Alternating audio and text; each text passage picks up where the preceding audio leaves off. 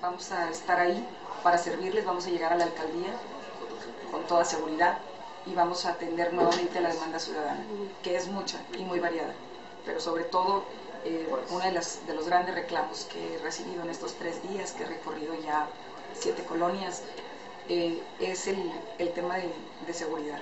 el de regresar, de pacificar a nuestra ciudad, el de regresarle la tranquilidad a las familias, el de mejorar todo el alumbrado público que verdaderamente está en pésimas condiciones, el de mejorar las condiciones de los servicios públicos en cuanto a la limpieza, en cuanto a todo el trabajo que anteriormente ellos habían tenido y hoy dejaron de tener.